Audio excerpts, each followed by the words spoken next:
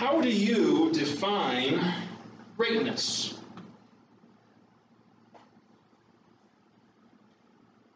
You might ask a number of people, you probably get a number of different answers.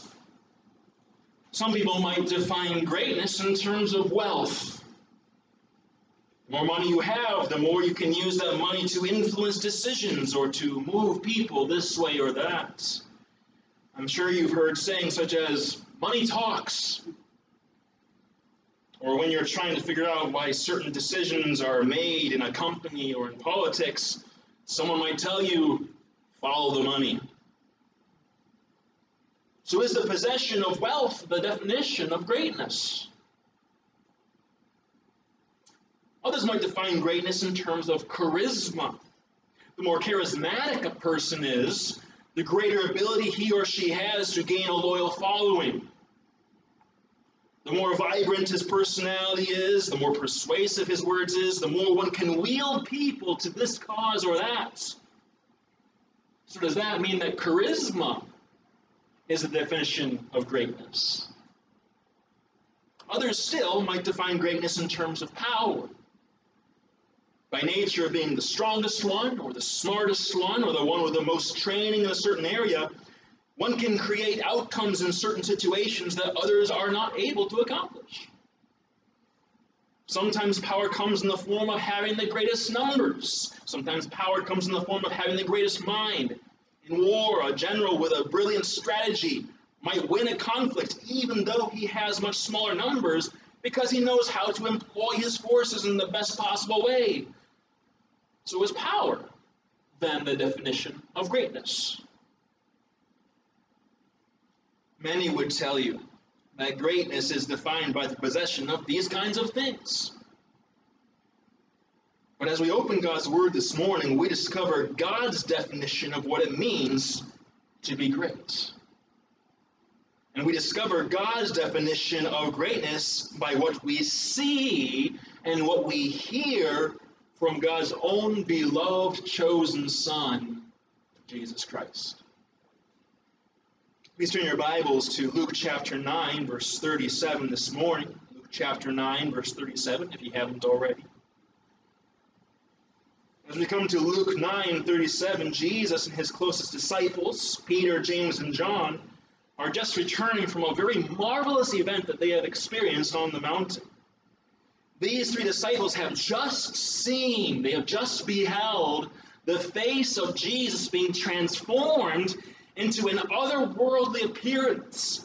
In the words of Matthew, shining like the sun.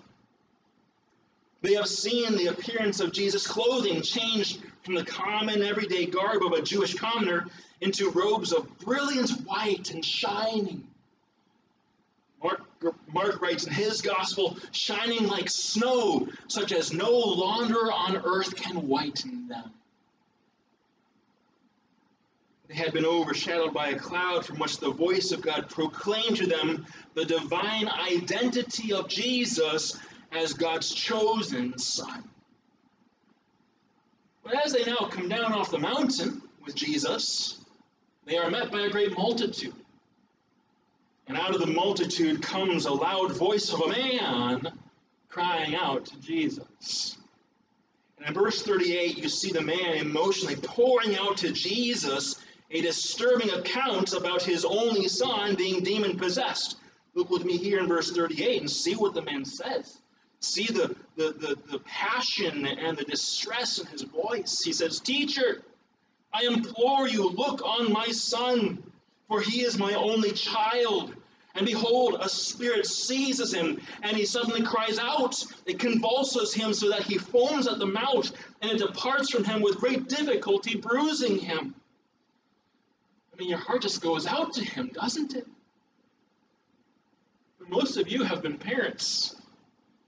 Most of you have raised kids. You know how it feels when you hear your child coughing throughout the night or crying because of the pain of an ear infection. Imagine the agony that must grip this father's soul every time he has watched his only son seized by this invisible force, thrown around like a rag doll in epileptic convulsions, hardly ever leaving him, And when it does leave, his poor son is left battered and bruised. And to make matters worse, he has tried to do something about it by taking his son to the disciples of Jesus for healing. He believed that the disciples of Jesus would be able to cast out this demon like their master could. And he clearly must have heard that they had the ability to do this. And we read about this not too long ago at the beginning of chapter 9. Chapter 9, verse 1 tells us that Jesus had given his 12 disciples, his 12 closest, he had more disciples, but he had given the 12 power and authority over all demons and to cure diseases.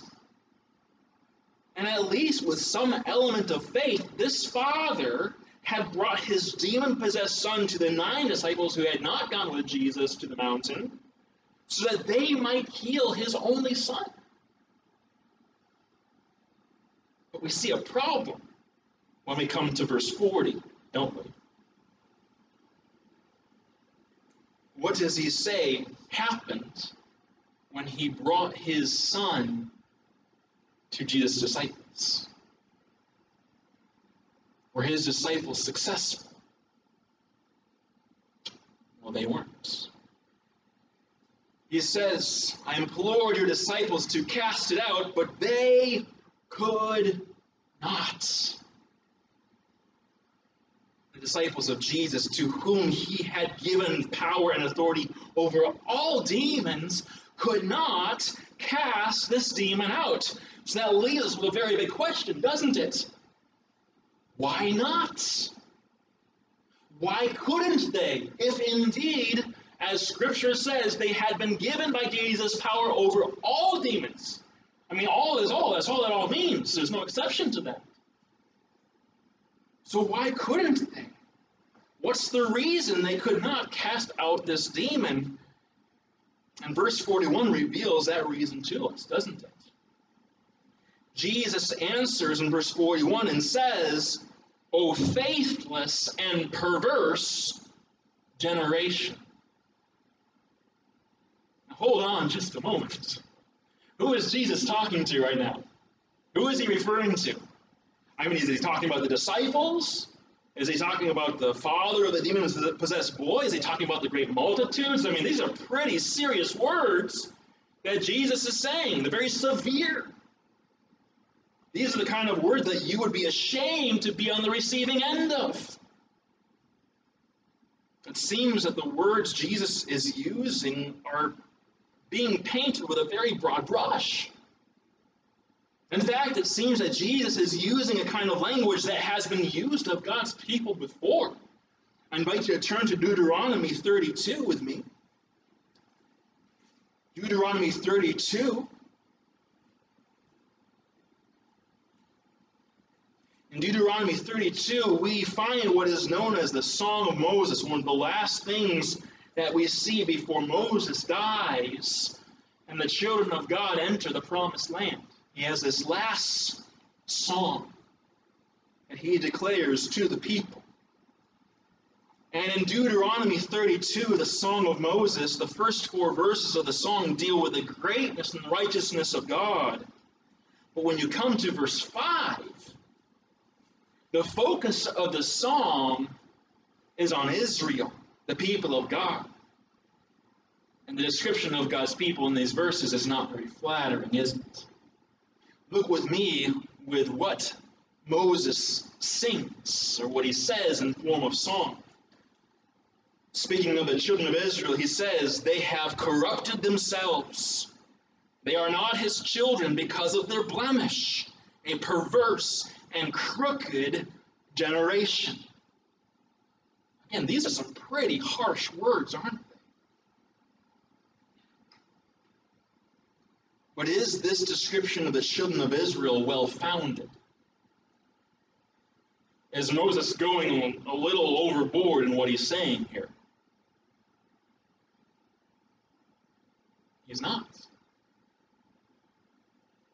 You keep reading on in Deuteronomy 32, Moses does not sugarcoat things as he reminds Israel of their past rebelliousness and utter abandonment of their good and gracious God. Just look with me in verses 10 through 14 and see all that the Lord has done for Israel.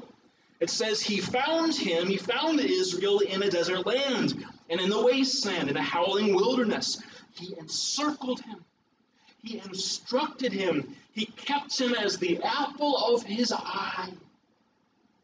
As an eagle stirs up its nest, hovers over its young, spreading out its wings, taking them up, carrying them on its wings, so the Lord alone led him. And there was no foreign God with him. He made Israel, he made him ride in the heights of the earth, that he might eat the produce of the fields. He made him draw honey from the rock, and oil from the flinty rock, curds from the cattle, and milk of the flock with fat of lambs and the rams of the breed of Bashan, and goats with the choicest of wheat, and you drank wine, the blood of grapes. This is beautiful. This is wonderful. Wouldn't you expect Israel to respond with such utter devotion to the one who had provided for them all these blessings? But how did Israel respond to the goodness of the Lord to them? Well, verse 15 gives the significant problem. But Jeshurun, another name for Israel, grew fat and kicked. You grew fat, you grew thick, you are obese. Then he forsook God who made him and scornfully esteemed the rock of his salvation. They provoked him to jealousy with foreign gods. With abominations, they have provoked him to anger. They sacrificed to demons, not to God, to gods they did not know, to new gods, new arrivals that your fathers did not fear. Of the rock who begot you, you were unmindful, having forgotten the God who fathered you. So, back here in Luke chapter 9, verse 41, when Jesus replies with the words, O faithless and perverse generation, he is bringing to mind the past unfaithfulness of God's people in previous generations. And he is bringing the same harsh language that was used back then to bear on his current generation. The generation of God's people that Moses had led from Egypt to the promised land should have responded differently than they had done. They should have trusted in God to fight for them as he had delivered them from their Egyptian taskmasters. But instead, they would not go into the promised land. They saw the inhabitants of the promised land as too great for them. They created and worshiped gods of their own creation. Remember the golden calf in the wilderness. Moses, we haven't seen you for quite some time. Here, let's, let's make gods of our own. Because certainly the God of Moses isn't around right now. They refuse to trust God to go before them and conquer their enemies. And Jesus sees parallels with that generation and the one he has been ministering to now for many months. They may have finally broken away from pursuing after other gods. I think the exile cured them of that. But they still were demonstrating the same root sins that their ancestors had been guilty of. They were unbelieving and they perverted God's ways. But there's a particular group of people at this moment that Jesus intends to feel the weight of his condemning words because this certain group of individuals, more than any, had no excuses. This group of individuals have personally walked with Jesus. They have learned from Jesus. They have even been equipped by Jesus to do the kinds of works that he himself had been carrying out. Who are these individuals? They're his disciples. They are just as guilty of unbelief in this moment as the rest of their generation. They should have been able to wield the power and the authority of Jesus over this demon that possessed this father's only son. But clearly, according to the words of Jesus, they had not been exercising the kind of faith that was necessary. What caused it? Know, maybe they had let personal pride get in the way. Maybe in the moment with Jesus gone up on the mountain, kind of like Moses had gone up on the mountain, they believed the subtle lie that they no longer needed to trust in the power of Jesus. Maybe they thought that they had the ability and the power in themselves. Certainly, with the size of the crowd that was present, the temptation to try to impress everyone would no doubt have been a strong one. So instead of seeking to bring glory to God, perhaps the disciples sought to bring glory to themselves. I mean, haven't you and I been guilty of such pride in our lives? If we were honest with ourselves. Don't we ever come to certain situations and we, in our pride, dismiss God's revealed way of responding to that situation. Instead, we substitute our own. You wonder why we get depressed. You wonder why we lose hope. It's because we substitute our way for God's. Haven't you ever substituted anger when the situation called for patience? Haven't you ever substituted your own self confident way of doing things in the place of God's own way of doing things. So maybe personal pride was what resulted in the disciples' failure to cast out this demon. Another possibility is that the disciples of Jesus had given way to fear. Maybe there was something about this particular case of demon possession that shook their confidence. Maybe the brutality of this demon, you can see how the Father described it, it was a pretty brutal situation. Maybe the brutality of this demon was beyond anything that they had seen, and they had faltered out of fear as they tried to exercise the authority given to them by Jesus. Whatever it is, the text doesn't make clear, but whatever the issue may have been, one thing is clear. They did not exercise the same faith in the power and authority of Jesus as they had in the past. And as a result of their unbelief, they failed. But they shouldn't have. They didn't have to.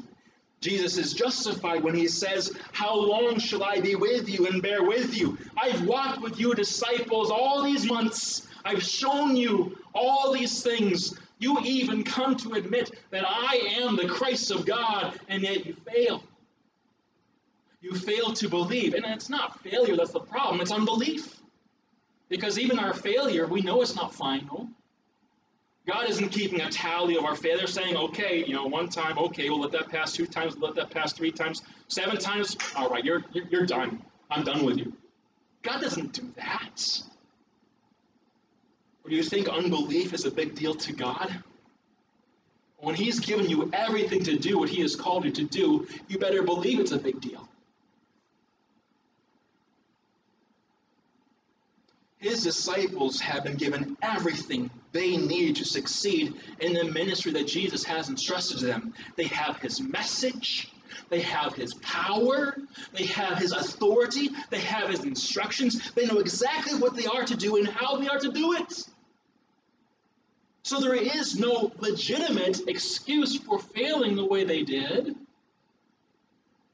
But as we read on,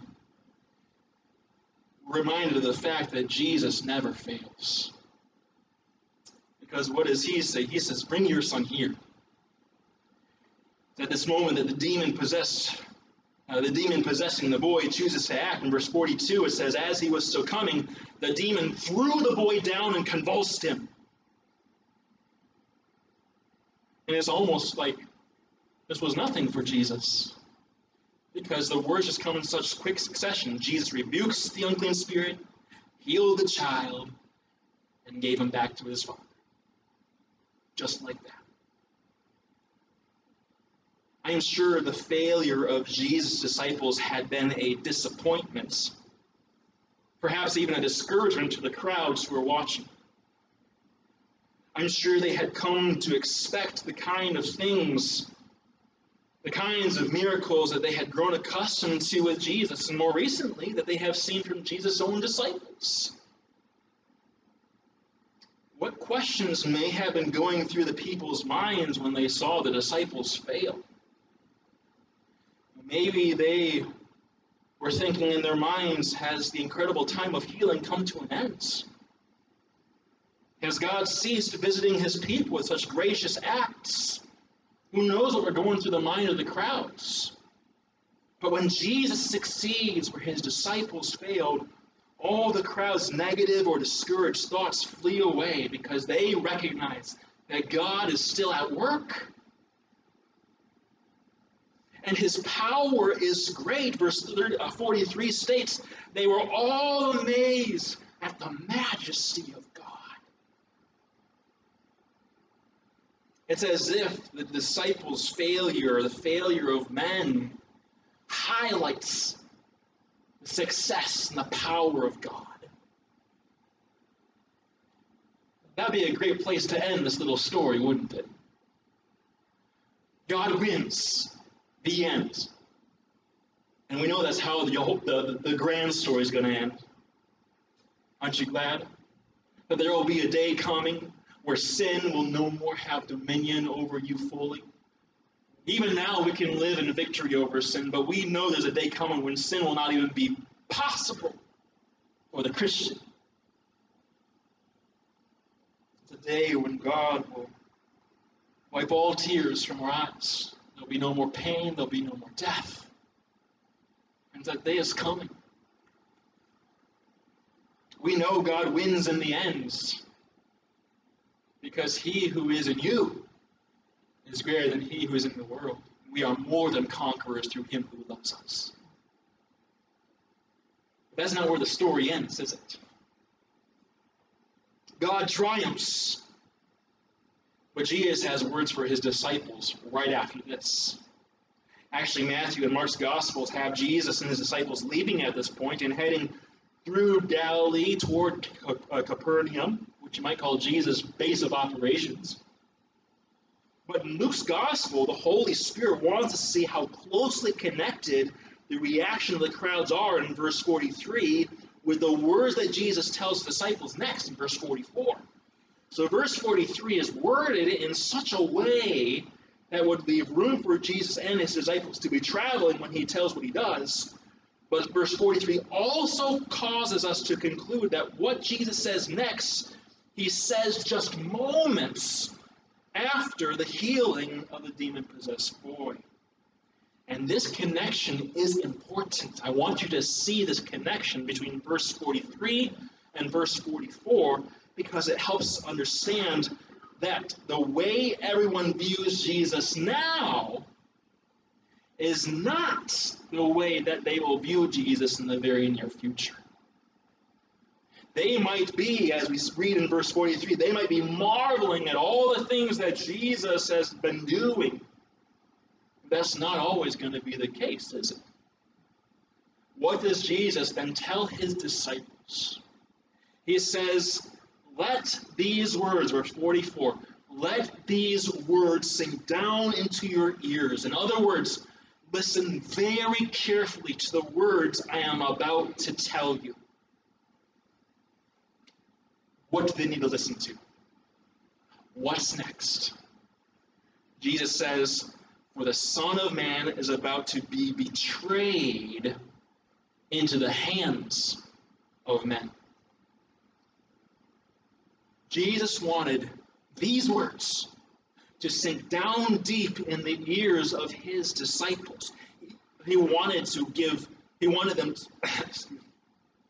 he wanted them to give very careful attention to what he has just said.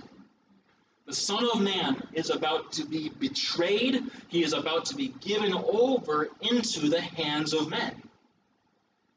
So, why does Jesus highlight these words so vividly?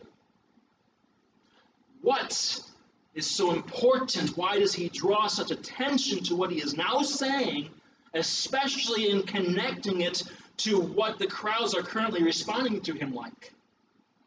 Right? They are marveling at the things that he has done, but he's saying that's not always going to be the case. Why is it so important that the disciples of Jesus fixate on what he has just said? First of all, he wants his disciples to understand that many of those who are now marveling at the works of Jesus now, who are even attributing the works of Jesus to God like they ought to, are going to be the very ones into whose hands Jesus is about to be delivered. They may be marveling at Jesus now, but it will not be long before their attitude toward Jesus becomes something altogether different. They are going to do an about face on Jesus. And what is so fascinating is the way that Jesus' disciples actually receive these very important words that he shares with them. Verse 45, what does it say? It says, They did not understand the saying and it was hidden from them so that they did not perceive it. Now, the words themselves aren't very difficult to understand, are they? I mean, you know what they're saying. I assume they knew who Jesus means when he says Son of Man. He's used it of himself many times in the past. I assume they understood the concept for a person to be handed over into the hands of another person or another people. But something about what Jesus said, they just could not understand because, as important as it was, they were prevented from understanding the significance of what Jesus saying. I don't know if it's because of the leftover shame of their recent exorcism failure. Maybe they were embarrassed not to uh, understand something that Jesus has just said they needed to let sink into their ears. But whatever the reason is, the verse concludes that they were afraid to ask him about the saying. But just because they did not understand then doesn't mean that they would never understand Jesus' words. There would be a time that everything that Jesus had taught and predicted and warned would fall into place in their thinking. They weren't able, at least at this time, to put the pieces together yet. And just because they didn't understand what Jesus meant doesn't mean that we can't understand the words of Jesus. Because we now have what Jesus' disciples didn't have then. What do we have that they did not? We have the whole story. It's all right here, isn't it? We know what happens with Jesus. And they would learn that in time. The Son of Man would be given over into the hands of men. Yet we have already seen how this same Son of Man has power on earth to forgive sins. We've seen how the same Son of Man is Lord of the Sabbath. We've seen a glimpse of the Son of Man coming in his own glory and the glory of his Father and the glory of the holy angels. Isn't that what Peter and James and John saw on the mountain? But the Son of Man will also suffer and be rejected and be killed and be raised. The Son of Man will soon be delivered over to the hands of men. He will be given into the control. They will mock him. They will beat him. They will drive a cruel crown of thorns into his head. And the Son of Man will be delivered into the hands of men, will be lifted up on a cross to accomplish deliverance for those very men. So if people think that all the things that Jesus is doing is displaying the greatness of God now, his miracles, casting out demons, healing people, they haven't seen nothing yet. Because the greatness of God will be set on full display through the selfless humility of his Son on behalf of all mankind. Lord willing, we will be back next Sunday to finish looking into this window of God's definition of greatness. Let's close in prayer. Our Father, we thank you for Jesus Christ. Right now, as his disciples are listening to his words, as they are trying to comprehend what he means when he says he is going to be rejected, he's going to suffer, he's going to be given over to the hands of men, he's going to be killed. When all these things they are not registering as greatness. Lord, this is the epitome of greatness.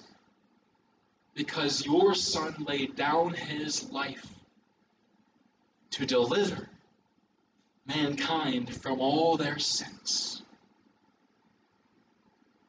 Father, help us to see in this act the incredible greatness of our Lord. We pray this in Jesus' name.